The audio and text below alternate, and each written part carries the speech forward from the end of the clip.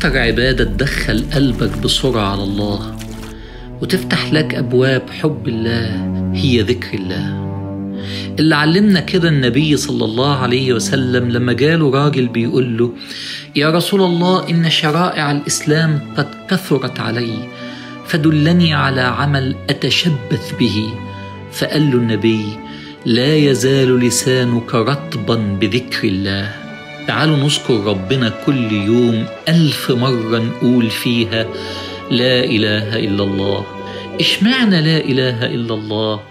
لأنها أصل الذكر كله.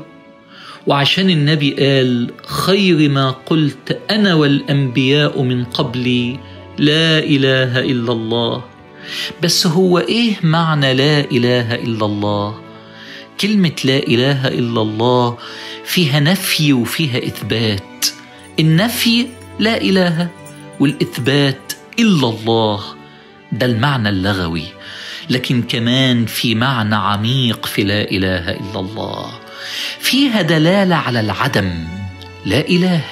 لأن عند لا إله اذا كل عدم. وفيها دلالة على الوجود إلا الله. لأن الله منه كل الوجود. كأن المعنى لا وجود إلا بالله. فإنت وإنت بتقول لا إله إلا الله كأنك بتقول الكون كله عدم إلا بك يا الله.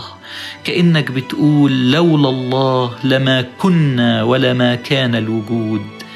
كمان كلمة لا إله إلا الله فيها تخلية لا إله وتحلية إلا الله. كل ما تقولها اعمل في قلبك تخلية من كل شهوة ومعصية واعمل في قلبك تحلية بكل ما يحبه الله.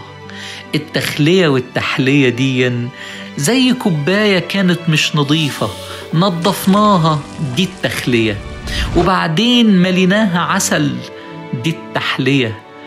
وكأنك بتقول مع كل مرة هقول فيها لا إله إلا الله هخلي قلبي من معصية وحمل قلبي بطاعة الله.